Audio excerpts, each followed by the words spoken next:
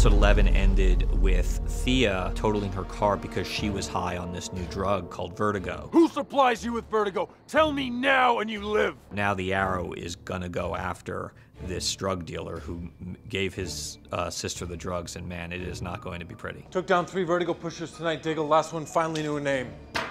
The Count.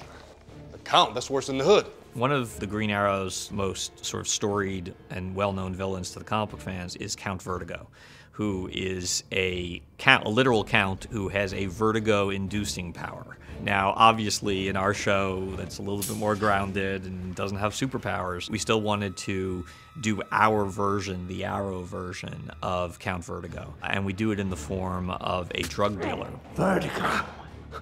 In its purest form.